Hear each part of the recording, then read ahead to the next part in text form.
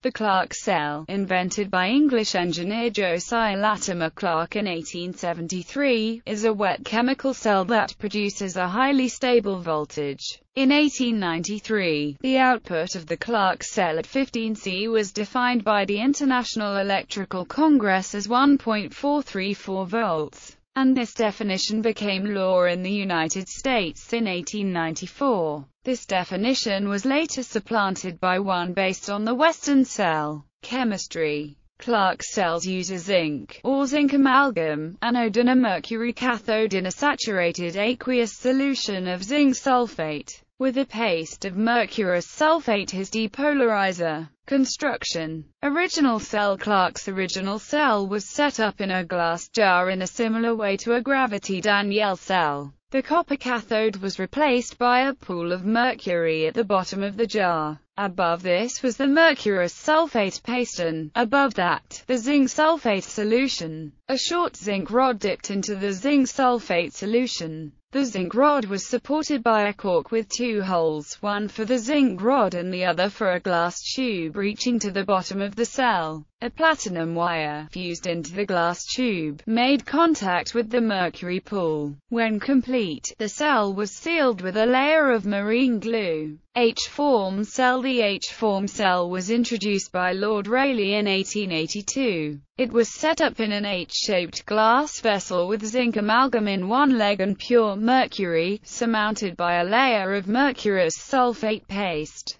in the other. The vessel was filled, nearly to the top, with zinc sulfate solution. Electrical connections to the zinc amalgam and the mercury were made by platinum wires fused through the lower ends of the legs. Characteristics the cell yields a reference EMF of 1.4328 volts at a temperature of 15 degrees Celsius. Reference cells must be applied in such a way that no current is drawn from them. The design had two drawbacks, a rather large temperature coefficient of minus 1.15 millivolts, degree C, and corrosion problems caused by the platinum wires alloying with the zinc amalgam connections where they enter the glass envelope. In 1905, Clark cells were supplanted as a voltage standard by the more temperature-independent Weston cell.